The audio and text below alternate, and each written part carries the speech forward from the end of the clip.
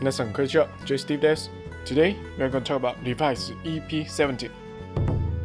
Cool! The second power form of Revice is here, Kamen Rider volcano Volcanorex Gilm and Kamen Rider Vice Barid Rex Gilm. I didn't expect it first. Volcanorex is gonna debut in episode 17 next next Sunday. I really love this form. It got a shining assault hopper white, especially the shoulder part. This form is golden yellow and purple color with red eyes.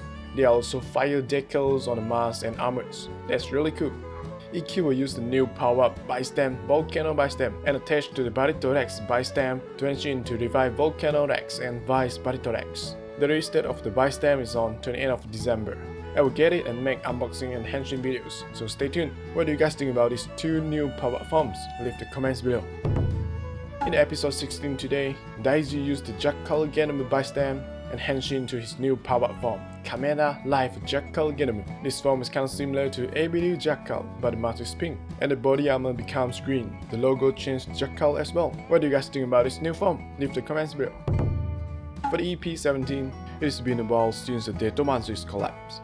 However, the whereabouts of Aguilera, Olteca, and Furio, who were still executives, were unknown, and the search continued. Meanwhile, Ikki came to see George. George wanted to find a way to save Phase 3 Deadmans, because none of them were able to separate themselves from Devil. It shows a new Vistamp that is under development. However, it seems that there's considerable danger in mastering it. But Ikki tries to get that power with Vice to master the Volcano Rex Genome, which is an evolution of the Barid Rex Genome. Ikki starts training in virtual space with Vice without hesitation.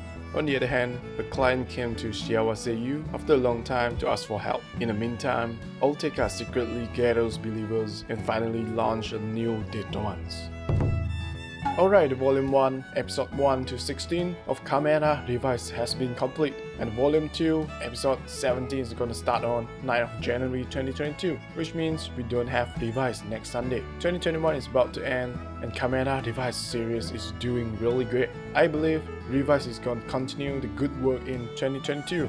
Wish all of you Happy New Year and thanks a million for always support my channel. I will continue to work hard and create more great videos. Alright, that's all for today. Hope you guys enjoyed. Thanks a million. Don't forget to subscribe to my channel and see you next time. Ja, matane.